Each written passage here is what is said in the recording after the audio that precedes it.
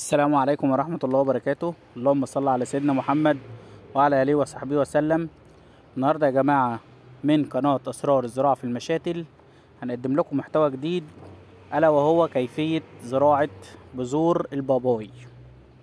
أول حاجة يا جماعة بيكون معانا بذور بالشكل اللي إحنا شفناه ده كده. بيكون معانا بيكون معانا تربة وعدد ورقتين أو ثلاثة وبيكون معانا تربة جانبية لتغطية البذور بعد عملية الزراعة. أهم حاجة يا جماعة ما تنسوش الاشتراك في القناة وتفعيل زر الجرس علشان يوصلكم كل جديد. ودي شكل البذور يا جماعة اللي إحنا قلنا عليها. إزاي بنستخدمها أو إزاي بنجمعها؟ بنجمعها من ال- الثمار الناضجة. بنجيب حباية باباي وبعد كده بيتم فتحها وبنستخدم البذور الداخلية اللي بالشكل ده. وبيكون معانا تربة بالشكل ده كده وبيكون معانا قصيص فخار.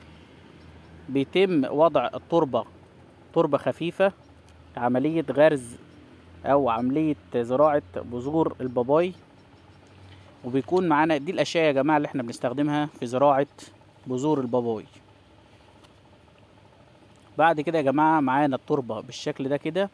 بيكون تربة خفيفة زي ما قلنا وبنبدأ نوزعها في القصيص زي ما إحنا قلنا كده. ويعتبر من أفضل فصول السنة في زراعة بذور الباباي هي فصل الخريف. وبعد كده يا جماعة بيتم وضع البذور بالشكل اللي إحنا شايفينه ده كده بواسطة ملعقة. زي ما إحنا شايفين كده يا جماعة. دي بذور ناضجة. آه في ناس تانية بت بتبدأ تجفف البذور وتخزنها وبتزرعها في فصل الخريف.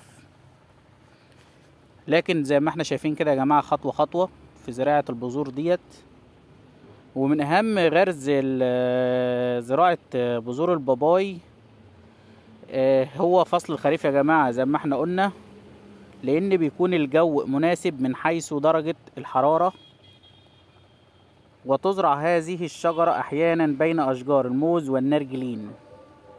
والشجرة المؤنثة هي التي تثمر ويكون عناقيدها قصيرة.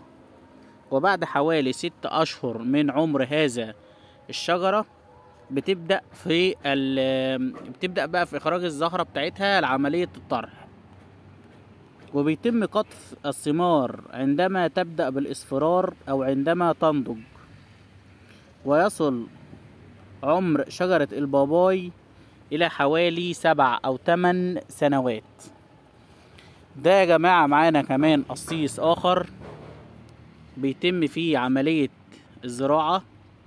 وبيبدأ نثر البذور زي ما إحنا شايفين كده. بيتم توزيعها يا جماعة بالشكل اللي إحنا شايفينه ده كده. وشجرة الباباي ده برضو يا جماعة مفيدة جدا للجهاز الهضمي. آه، وبرضو مفيدة جدا آه، لتحسين نسبة السكر في الدم.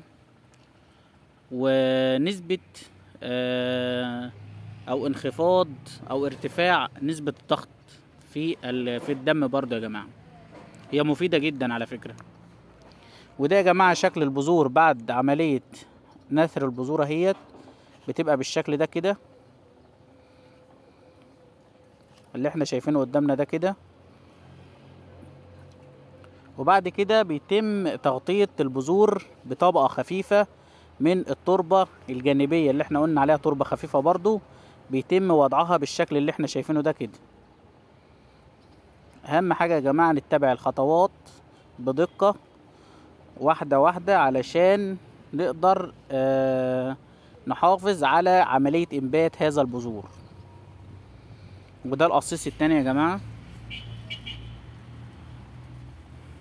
بيتم تغطيته بالشكل ده كده. و- وله برضو أحيانا يا جماعة هذا ال- الثمار أو هذا الشجرة من الفواكه وهي من الشجرة يعني سهلة الإكسار جدا على فكرة. وبعد إنبات البذور بيتم نقلها من قصيص إلى آخر. وبعد كده يا جماعة بيتم وضع ورق زي ما إحنا شف- شفنا كده. دي أهم خطوة في عملية الري. دي ليه بنحط الورق ده؟ بن... بن... بيتم وضع الورق ده ليه على وش التربة؟ علشان نحافظ على التربة وما تفحرش معانا. علشان المية دي لما بتنزل بشكل سريع بتعمل فحر وكده البذور البذور ممكن تبوظ مننا. زي ما إحنا كده شايفين يا جماعة ده عملية الري. طريقة سهلة وبسيطة.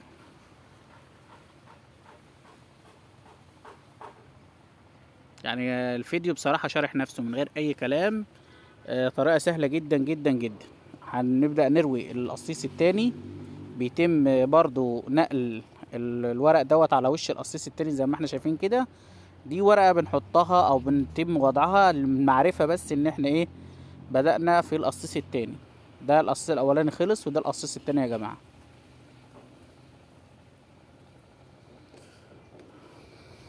ومن الفوائد العلاجية للباباي أيضا هي إزالة مرض الصفراء وعلاج بعض حالات الأمراض العصبية وفتح الشهية وزي ما قلنا برضو يا جماعة تحسين نسبة السكر في الدم.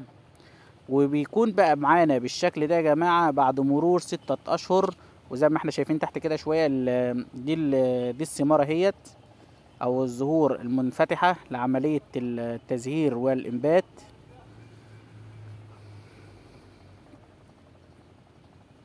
طريقتها سهلة وبسيطة جدا. ده طبعا عندنا عود في المشتل بس إحنا حبينا نوريه لكم معانا. إزاي بقى بعد آه، حوالي ست شهور؟ ده كان عود قديم عندنا. وله فوائد عديدة كتيرة جدا يا جماعة. وبصراحة إحنا بننصح الناس كلها آه، باقتناء هذا النبات في المنزل أو في المشتل أو في الحديقة. هو من النباتات الجميلة جدا يا جماعة. وبيتعمل كمشروب برضه عن طريق العصير وكده برضه. بيتعمل عصير بيبقى شكله حلو وطعمه حلو جدا جدا جدا. وده